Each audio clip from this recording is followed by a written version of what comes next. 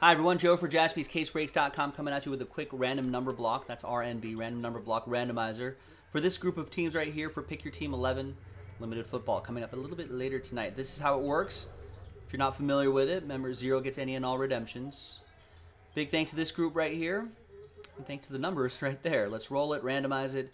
Three and a six, nine times for names and numbers. One, two, three, four, five, six, seven, eight, and ninth and final time. After nine, we got Nicholas down to Roy.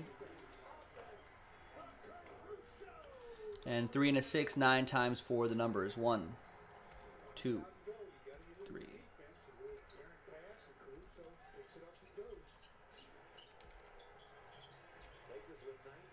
And ninth and final time. Good luck.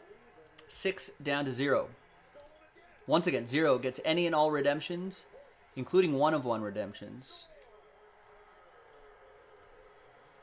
And uh, that only applies to this group of teams in that bottom tab right there.